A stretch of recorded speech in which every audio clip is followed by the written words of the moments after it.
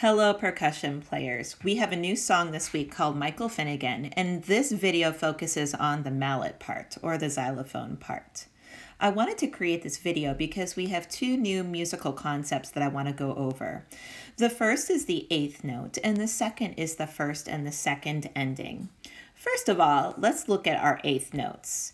We see our first set of eighth notes here in the first measure. Now you may remember from general music in the past that eighth notes only get a half of a beat. And so what we do when we count them is we put an and next to the beat number that we count them with.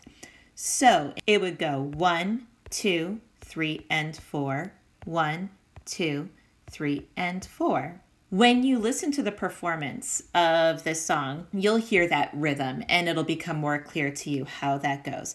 The next concept that we are going to learn this week is the idea of first and second endings.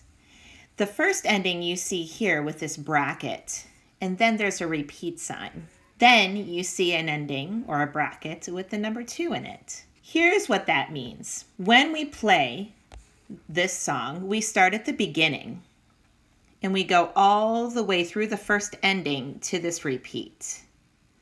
Then just like any other repeat, we go back to the beginning and we play up to the first ending, but then we skip to the second ending. In this video, you're going to see a performance of Michael Finnegan, and you're going to notice an orange cursor going across, and it will follow that order that I just explained to you. Practice the song on your own and record your performance on Flipgrid.